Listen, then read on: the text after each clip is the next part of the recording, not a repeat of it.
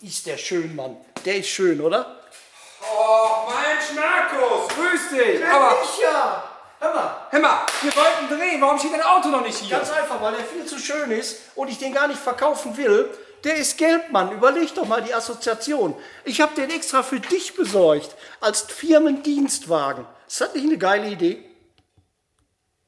Also, mein Geld ist RAL 1016. Das ist nicht mein Nee, Geld. das ist 606 Mercedes, Ahorngelb. Aber geht in die Richtung. 1016 ist BMW Golf Gelb, früher 02. Ja, nee, 606 Aber, ja, Mercedes. 606, ja.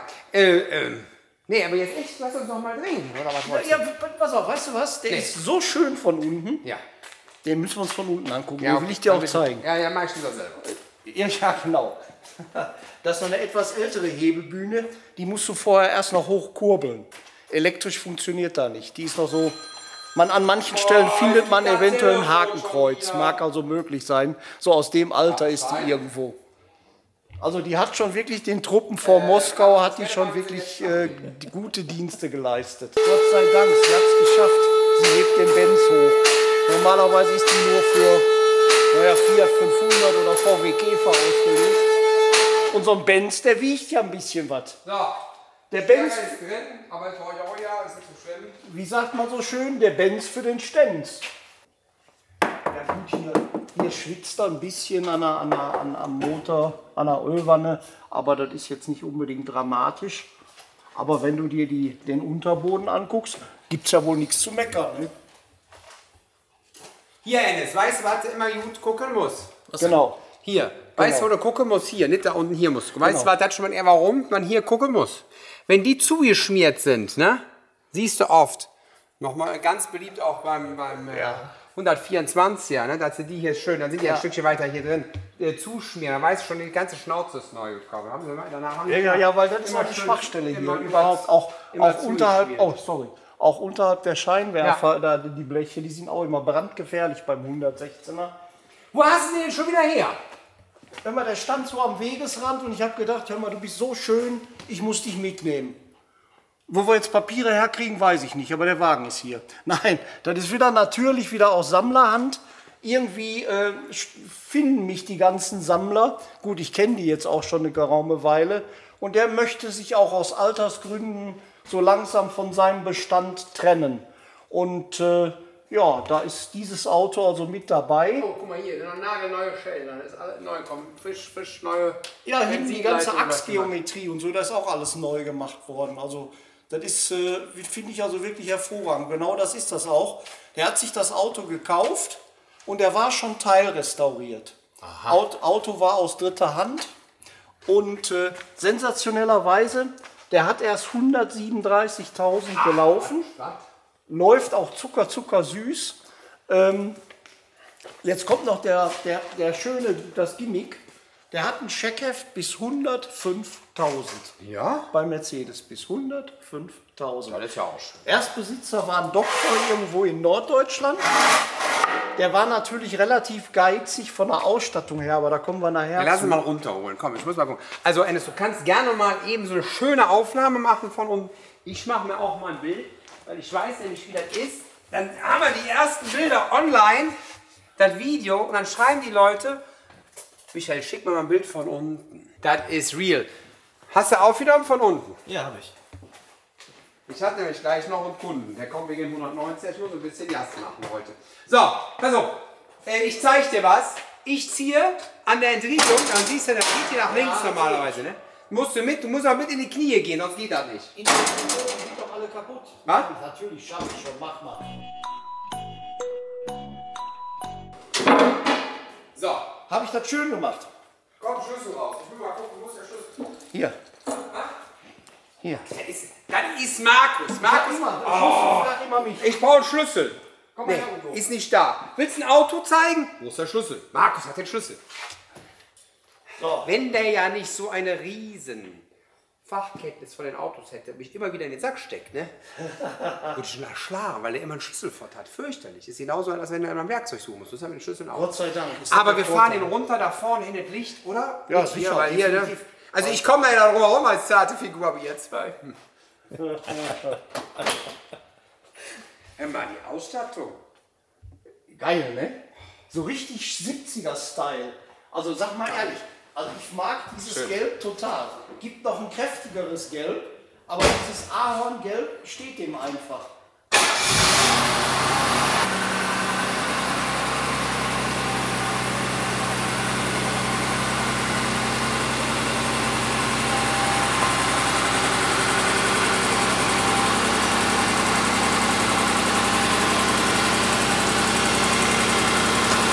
Oh, der ist schrecklich.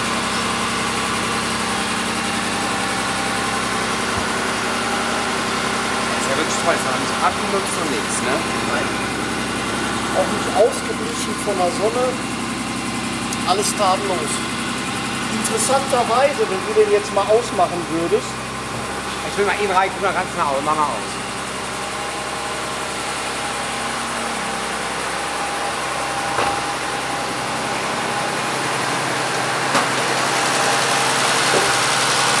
so, dann ist das Triebwerk.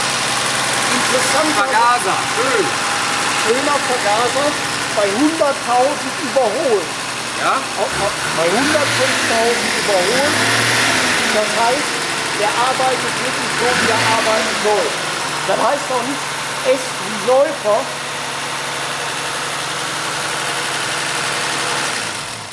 In dem Fall steht das S in der Typenbezeichnung auch nicht stellvertretend für Säufer, sondern der Vergaser, wenn der vernünftig eingestellt ist, ist der im Benzinverbrauch ja durchaus akzeptabel. Interessanterweise ist, dass wir hier einen Doppelnockenwellenmotor haben mit einem separaten Nockenwellenkasten. Deshalb sind die meistens alle hier am Ansatz vom Nockenwellenkasten undicht, weil es da nämlich gar keine Dichtung zu gibt.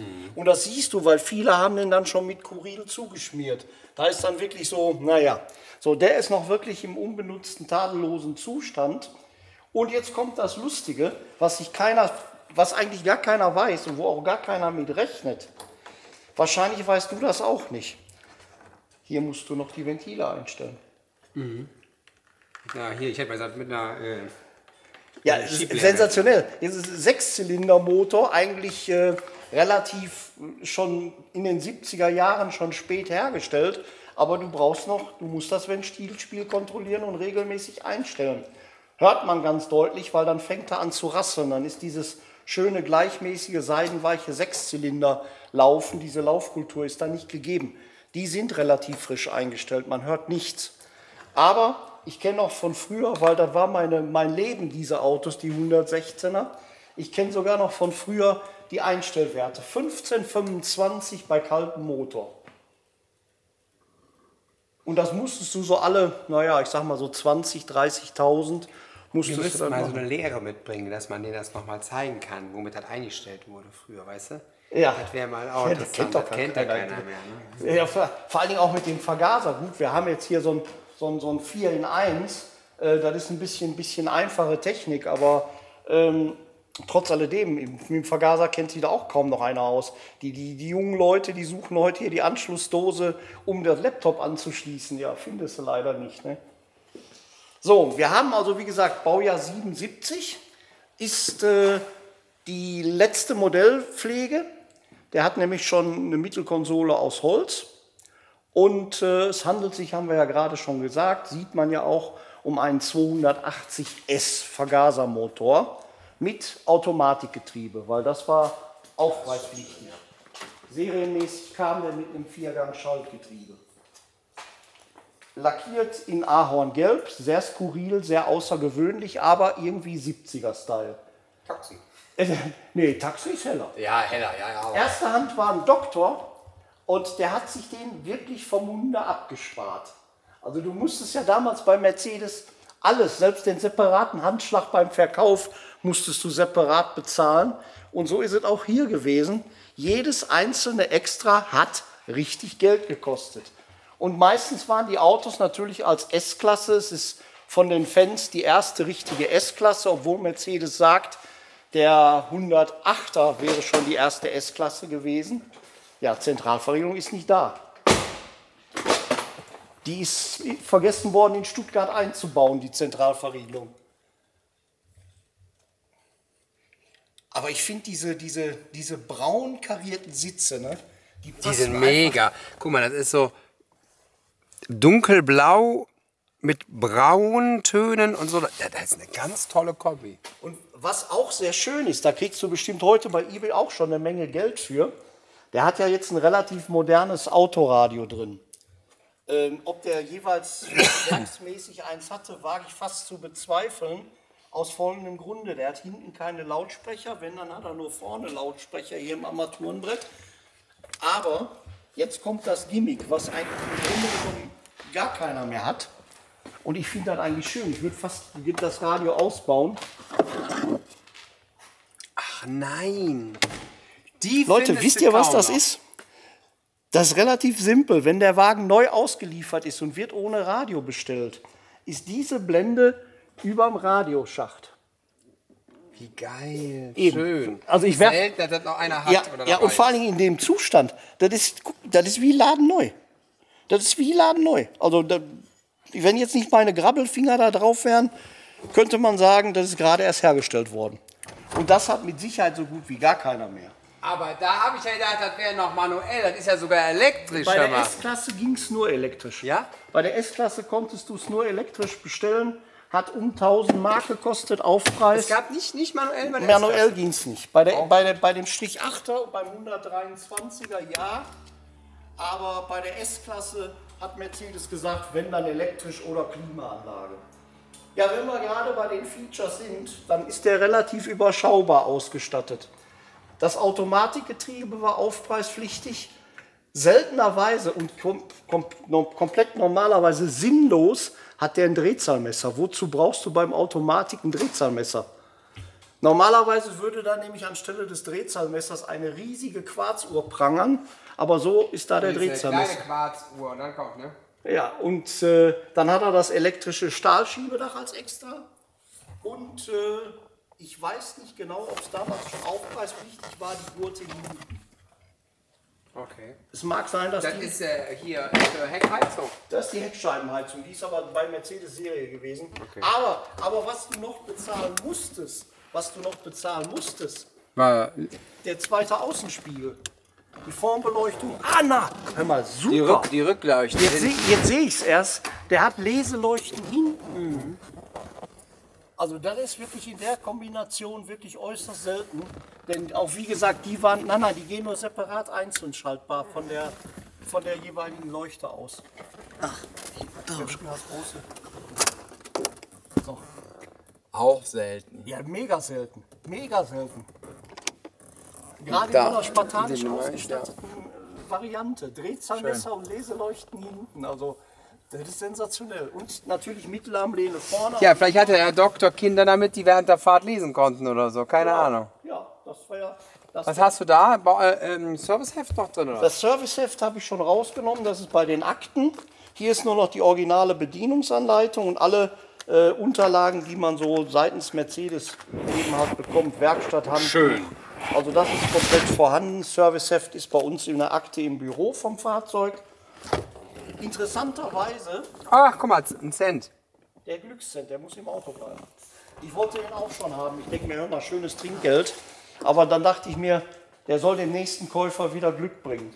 Ob die mal nachträglich reingekommen ist? Es macht den Eindruck. Die sieht ja dunkler aus. Ich habe äh, ich hab eher das Gefühl, ich habe eher das Gefühl, als dass die neu bezogen wurde. Das könnte auch sein. Aus dem einfachen Grunde, normalerweise wäre die auch außen mit Kunstleder und in der, Miet, in der Mitte mit kariertem Stoff bezogen. Ja, und die ist ja sogar, guck mal, die hat hier einen Reißverschluss. Wie ich das Das haben die alle. Ja? Das haben die alle. Du, ist mir noch nie Und ich aufgefallen. glaube ganz einfach, hier sammelt sich viel Schweiß, dann gibt es böse äh, Flecken, selbst bei, Mhm. bei geringen Kilometern.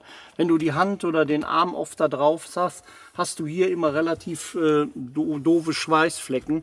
Und dann kann möglich sein, dass, dass der letzte Besitzer oder wer auch immer das Mal hat neu neu beziehen lassen, weil es einfach die schöner Sitze aussieht. sind ja wirklich tadellos. Die Ne? sind nicht durchgesessen, da hat keine schwere Person drin gesessen, die haben keinerlei Beschädigungen, nichts, überhaupt gar nichts. Also man sieht ja eine ganz kleine Macke da in dem äh, Fensterkurbel. Da ist, Ja, an der Verkleidung. da ist ja. eine ganz klein, aber ansonsten sieht man ja wirklich gar nichts. Auch noch nicht mal hier. Guck mal, wenn ich jetzt ein- und aussteigen würde, Ennis, dann ist das dieses oft, was die Leute mit dem Fuß mal eben dagegen kitschen. Das ist ja hier so gut wie gar nicht. Ne? Also wenn ich hier aussteige, das ist hier so wie gar nicht. Man sieht hier so ganz minimal ein bisschen, aber das ist keine Beschädigung. Also das ist toll. Es ist dir wahrscheinlich noch gar nicht aufgefallen, aber es gab zu dem Zeitpunkt, als dieser Wagen produziert wurde, gab es in der 280er und in der 350er Variante ein Sonderzubehör, das nannte sich gehobene Ausstattung. Gehobene Ausstattung hatte folgenden Aspekt. Die hatten andere Türverkleidung. Wenn du dich erinnerst. Die waren anders, anders äh, weitaus breiter ausgeprägt, Ja. dass du hier sogar den Arm drauflegen Ja. konntest und hatten gerade hinten den Aschenbecher unten in dieser Verkleidung mit integriert. Ja. Und diese gehobene Ausstattung hat tatsächlich Geld gekostet. Und da hat der Herr Doktor sich gedacht, ach, das brauchen wir doch nicht. Türverkleidung ist Türverkleidung. Aber man Sieht muss das- ja auch immer wieder sagen, wenn ich so ein Auto sehe, ja, das war doch früher so. Man gönnte sich eine S-Klasse und wenn der Herr Doktor in einer S-Klasse kam, dann interessierte das nicht, ob der elektrische Fensterheber hatte, ob der eine Klimaanlage hatte, ob der, was weiß ich, eine Leseleuchte hatte. Das hat ja keinen interessiert, weil der Herr Doktor hatte eine S-Klasse, ne? Das durfte sogar ein 280S sein, also praktisch das Einstiegsmodell. Weil die Palette, diese S-Klasse, geht ja bis zum 450 SEL 6,9 Liter. So, und äh, also da gibt es den 350 SE, SEL, da gibt es den 450er. Also die haben ja eine Modellpalette, die ist ja Wahnsinn. Und dann gibt es aber nicht mit dem Vergasermotor ab Einspritzer, also selbst als Sechszylinder Einspritzer 280 SE, gibt es die L-Version. Die ist dann dementsprechend nochmal 10 cm länger. Ich habe was gefunden. Hier fehlt der Teppich. Das ist ja mal selten. Jo, der Teppich ist weg. Aber ist ja auch kein Abbruch, ne? Also die kriegst du ja noch. Ähm, Teppich ist mal nicht da. Ein altes Reserverad drin. Das sieht alles vernünftig aus. Schön ist natürlich auch, sag ich mal, ähm, ja, das ist alles aufgeräumt, ohne Flecken, ohne irgendwelche Beschädigungen. Ähm, man sieht halt wirklich, dass der in liebevoller Hand war. Natürlich, wie gesagt, der ist teilrestauriert, also da hat sich schon mal einer Mühe mitgegeben, aber nichtsdestotrotz ist der vom Gesamteindruck, Ist allein, allein wenn ich jetzt hier mal reinschaue, jetzt schau dir mal das an, weil das ist meistens alles verdreckt und vergammelt da drin, weil da keiner putzt oder sauber macht. Und das macht doch einen ordentlichen Eindruck. Ich meine, wir haben das Auto ja wie immer nicht sauber machen lassen, aber das kann man dem nächsten Kunden, dem Interessenten präsentieren. Das ist durchaus äh, gepflegt. Ne? Wichtig bei dem Modell die Türen unten, die Unterkanten und die sind rostfrei. Ganz, ganz entscheidend. Ja, das ist ja auch eine Krankheit bei denen. Ja. Also die konnten schon ganz gut gammeln. In den ersten Jahren und in den letzten Jahren konnten die sehr, sehr gut gammeln. Ja, der Udo will sich das auch angucken. Ja, ist ja auch vernünftig. Ne? Ist ja wie der Vater so oder so. Wie war das? Ja. Auch das Rathaus, die Rathäuser. Ähm, und ich finde eigentlich sehr schön, jetzt in der Zwischenzeit, früher habe ich auch anders gedacht. Ich Also am besten gefällt mir ja diese Innenausstattung, muss ich dir sagen. Die ist so schön, diese Farbkombi, die ist so elegant, finde ich das. Ich weiß nicht, ob es jetzt mit Schwarz besser wäre. Nee. Das glaube ist ja viel wärmer, viel weicher. Das Schwarz ist so, ja. so hart. Dieses Braune hat also so, so ein gewisses Flair. Und dann finde ich auch wieder schön, das Braun, man sieht das sieht ja, hier haben die früher noch mal äh, was drüber liegen gehabt an Schutzmatten, hier waren sie nicht. Da siehst du nämlich, ist das Braun durch die Sonne ein bisschen grünlich geworden. Ja. Aber hier an den Ecken, wo die Türen waren und hier unten kann man sehen, da waren Matten drauf und hier kam die Sonne nicht dran. Da ist es natürlich dann äh, dieser, dieser, der Braunton, das gefällt mir schon sehr gut. Und das war doch schon Viergangautomatik, oder? das war eine Viergang. Ja, ja, ja, ja, ja, ja. Der ist, der ist im zweiten Gang ist der angefahren. Schön.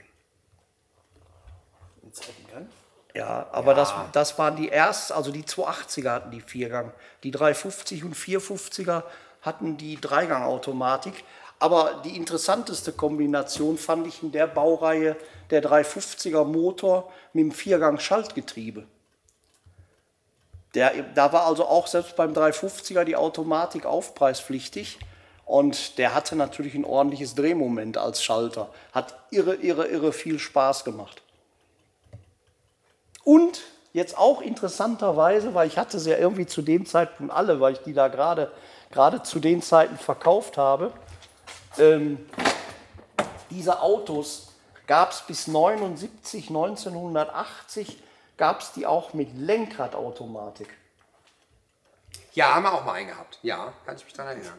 Also äh, das ist ganz skurril mit Lenkradautomatik, weil dann so vom optischen her fehlt dir einfach in der Mitte der, der Schalthebel. Also das ist kein so, sondern hier und da, da ist so eine, so eine äh, hier Birkenblüte drauf, nicht, dass man einen falschen Eindruck bekommt. Also Markus, schönes Auto, was mir gut gefällt.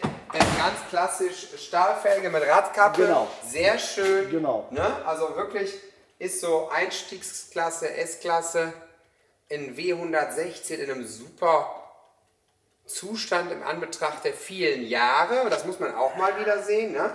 Also Lackierung ist gut.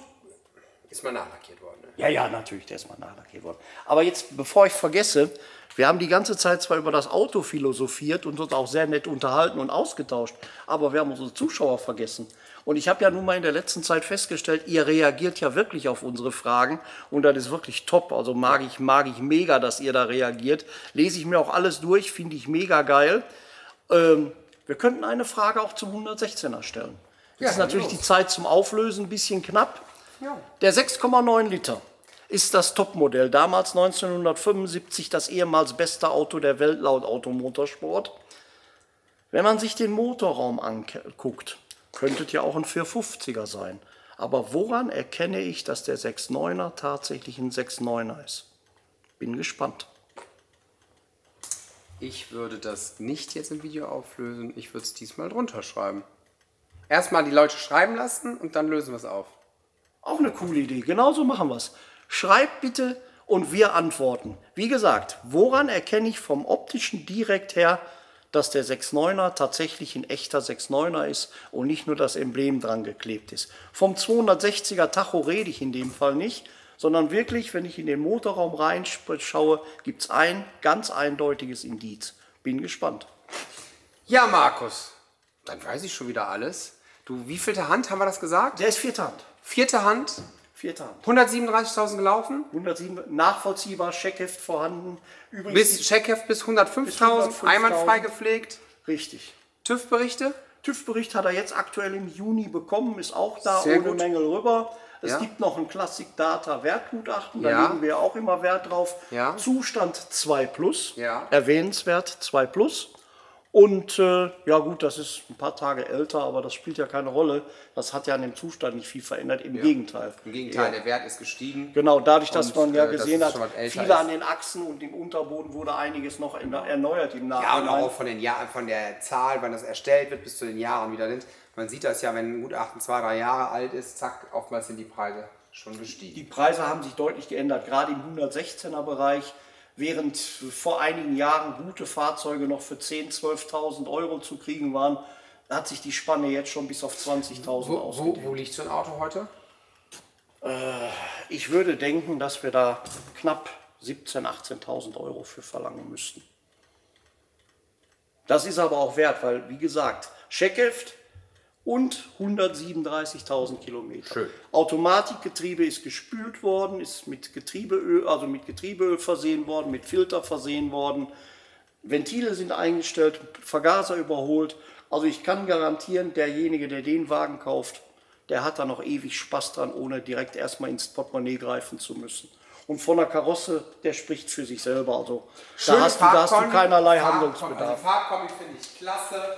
Ja, und ähm, man sieht auch Kundschaft! Kabelstein. Ja Leute, gerade Wir sind so, mitten im Drehen. Gerade so seltene. Farbkombinationen, die sorgen dafür, dass so ein Auto ste- steigt im Wert. Also man spricht bei Mercedes oder bei Mercedes-Fans von Fehlfarben, weil die halt ganz selten bestellt wurden und manchmal auch unter Umständen Augenkrebs verursachen können, denn da gibt es noch viel, viel krassere Farben als jetzt dieses Ahorngelb, das ist ja noch relativ seicht. Aber man kann wirklich davon ausgehen, so eine Fehlfarbe bringt dir immer ein paar Euro mehr im Endeffekt, wenn der Wagen älter wird. Markus, was ich gut finde noch, äh, wollte ich nochmal drauf.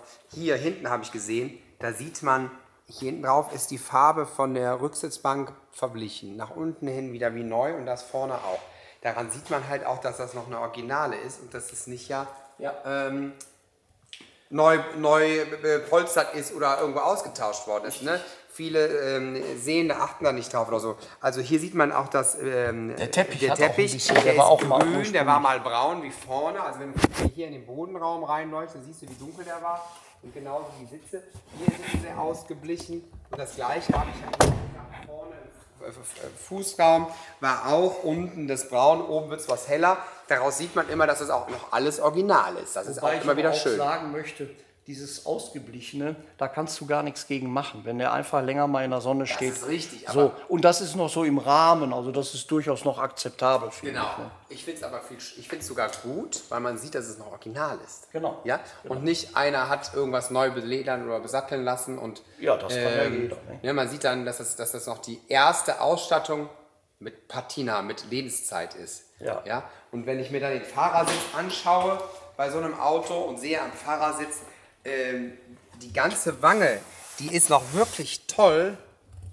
Die ist wirklich in einem super Zustand und auch hier sieht man keine Armauflagen, ja, oder von der Uhr irgendwie Kratzer oder Macken drin. Das finde ich immer schon alles. Wenn du dir alleine jetzt nur, äh, sage ich mal, das Lenkrad anschaust, das ist noch richtig schön, wie es neu war, perforiert. Da ist nichts Auch nicht abgegriffen. glatt, genau. Genau, auch der Automatikhebel, der hat ja auch eine kleine Struktur. Ja, richtig. Die ist auch noch voll und ganz gegeben. Ne? Das Einzige, was man verändert hat, die Schaltkulisse, die ist von einem älteren Modell, weil die gibt es normalerweise in der Art und Weise nicht in Chrom, sondern die ist normalerweise schwarz. Ja. Aber da fand einer halt so ein bisschen etwas älteres schöner.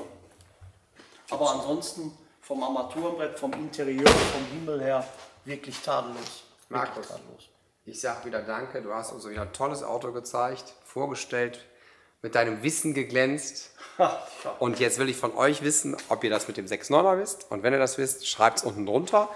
Noch besser ist, wenn ihr uns ein Like da lasst und viel besser, wenn ihr uns abonniert und eine Glocke drückt. Wir freuen uns auf euch. Danke, dass ihr dabei seid. Im Namen der Firma Jen Classic sage ich Michael Kappstein. Danke und auf Wiedersehen und übergibt das letzte Wort an Martin. Und ich darf noch sagen, ich fände es auch geil, wenn ihr uns mal besucht. Und jetzt kommt noch was, hat der Michael ganz vergessen zu sagen. Am 3.10. haben wir ein richtig, richtig geiles, schönes, privates Oldtimer-Treffen am Stoffelpark. Ne? Genau, in Enspel, in Enspel auf dem Stöffelparkgelände. Der komplette Stöffelpark, den haben wir gepachtet. Der Besuchereintritt, 2 Euro pro Person, geht zugunsten des Stöffelparkvereins. Die behalten nicht wir selber, sondern die werden gespendet. Und der Parkplatzgebühr für die Einfahrt der Oldtimer sind 10 Euro. Die gehen ähm, ja, für die Organisation quasi und für den Aufbau und für alles Mögliche an uns. Ähm, letztes Jahr kann man noch kurz sagen, hatten wir 614 Fahrzeuge und einige tausend Besucher. Wir würden uns freuen, wenn ihr natürlich auch wieder äh, den Stöffelpark diesmal unterstützt. Letztes Jahr haben wir das Ahrtal unterstützt, dieses Jahr den Stöffelpark. Was wichtig ist, wir beide sind natürlich auch vor Ort. Das heißt also, ihr könnt uns anquatschen, ihr könnt uns beschimpfen, ihr könnt uns verhauen, ihr könnt uns raus. Tipps geben. Ihr könnt alles mal, ihr könnt uns auch anfassen. Wir sind zu allem bereit, wenn ihr kommt und habt Bock auf uns. Wir haben Bock auf euch. So bleibe ich Markus Niemann. Bis bald. Der fährt schon raus, ich kann nichts mehr sagen. Ciao.